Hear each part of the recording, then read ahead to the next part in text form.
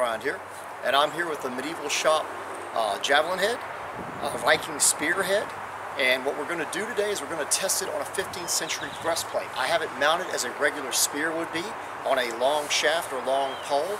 Uh, it's approximately, I would say, 8 foot, a little over 8 foot long. I can barely reach up here and put my finger where the rivet should be. There's actually a saga that states that's how long a spear should be or that they were using at the time period. So this would be actual length. Uh, this type of spearhead does not have the crooks on it. It's not the big broad bladed spear for cutting. This is a pure thrusting, if you were using it as actual spearhead, a pure thrusting and retrieving spear so it doesn't get hung up easily. It doesn't have a lot of utility as a two-handed spear for hooking on shields and stuff. But that's a lot of speed you got there and a lot of recovery. So what I want to see is how well it pierces that breastplate. I know this is not something you would normally be doing. So people out there saying do not stab a breastplate, stab at an niche, yes, that's what you should be doing. But we had good results with the Iron Age Celtic spear, made out of modern steel but high grade quality from Medieval Shoppe. And even one of Neil Burridge's middle-aged bronze spears was able to pierce that breastplate almost as well as the Celtic spearhead, but the Celtic spearhead was very broad. So I want to try this today. The narrow taper it has, I think it will have a lot better chance of piercing deeper. So let's get started.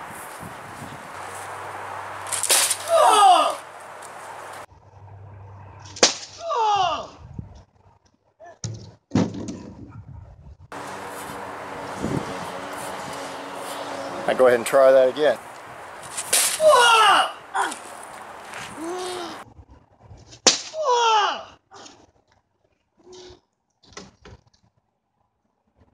Got another one, just not quite as deep as what I was expecting from the other video on the other polearms or the other spears, but it's still able to pierce the metal. This is extremely thick gauge metal. We're talking about around 14 gauge, uh, around 15, 14 gauge, so uh, that's not bad. Slightly hardened, actually making it to the padding underneath.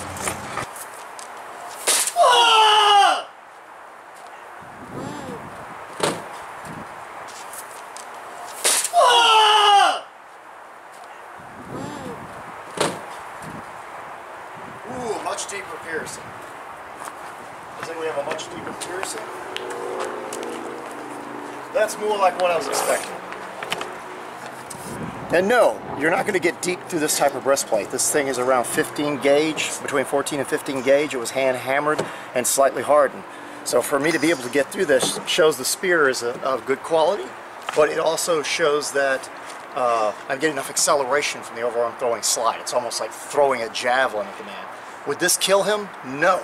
But we were mostly doing this as a test, as the spear against the plate to see what would happen. And uh, technically, if I were going to try to kill this man, I would have aimed under the armpit if I could get in and try to get him an off angle. Uh, I would have aimed to try to get up under the mail. I would have tried to do something else, aim for his, uh, this guy's heavily armored. No one in the Viking Age would have fought anybody like this, but I would have aimed for the eye slit, anything that I could hit. I wouldn't have aimed for his breastplate. This is just to show what would happen if you tried to go through a breastplate of this caliber and uh, that's a pretty decent piercing. I swear, it went into the it went to the actual cloth that I have under the padding, and we dented it in. If you look at the shape of this now, the denting is extreme compared to what it was. So it is actually caving in the metal and piercing the metal. Uh, I'll have to resharpen the tip. I'm going to be honest. This does do a lot to the edge, but uh, this was a fun video. I hope you all enjoyed it. I think you got your little shield bearer coming up. Was that good or not? the last one was pretty good, right? Yeah. Alright, I couldn't leave it just at that. Uh, normally I try to show the extreme reach of the throwing slide, and honestly you don't even have to slide it to get an extreme reach. Uh, if you do the actual pivot of the hip properly and throw the arm out with the throwing motion, you don't need the body to push the spear through. The acceleration is much more extreme at that point where you normally release the spear. Uh, if you want to allow the slide, you can allow the slide, but it does reduce the amount of power. So in this one, we don't want a full slide. But we do want maximum reach and a maximum range of motion. And it dawned on me that I was standing a wee bit close because of of glancing on the uh, front of the breastplate. The last test we did were on the back of the breastplate, which made it much easier to get a square on shot. So what I'm going to do is I'm going to try a little bit further range and see if I can get more range of motion and more of that throwing uh, into the spear to see if we can get a deeper penetration. So let's get going and see what happens.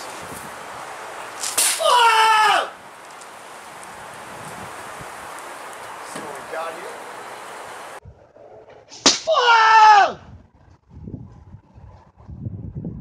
See what we got here. It's piercing. We got another one. Uh, it looks a lot the same as this one. This may be all we can do with the spear, but I wanted to give it a little more reach and see if I could get a deeper penetration. I might try one more time. I don't know. Looks a little deeper and better than the other one, actually.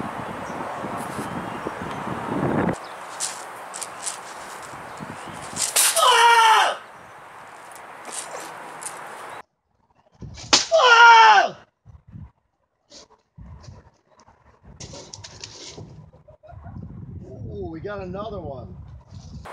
And, uh, And it I she just did a pal- shitting, shitting a brick this time. It decided to shit a blanket. Yeah, I think it did. but uh, we got another one about the same. It looks like that's about what we're going to get with this. I was thinking maybe a little deeper because of the shape, but maybe the shape doesn't have as much to do with it as it would seem. Uh, it is a very tough breast, breastplate. These are extremely wide, almost an inch or so. So this is pretty impressive. Uh, and I did get a little more reach with the uh, technique, but like I said, you don't want to do the full slide because a full slide will slow it down because you're slowing the spear, controlling it with the hand. So basically, I'm throwing this into the target without it leaving my hand is what I'm doing. But I hope you all enjoyed uh, the powerful spear thrusting here with the overarm throwing slide, and uh, I think it shows the spear is uh, of high quality and it did its job. It actually pierces, even though that's not what it was intended to do. Well, I hope you enjoyed the episode, and farewell.